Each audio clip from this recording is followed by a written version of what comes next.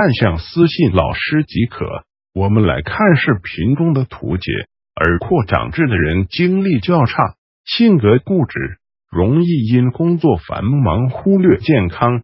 凡事要量力而为，不建议过于逞强。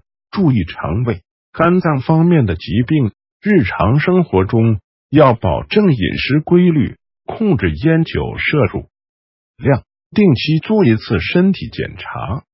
这类人事业运势较差，但感情运势不错。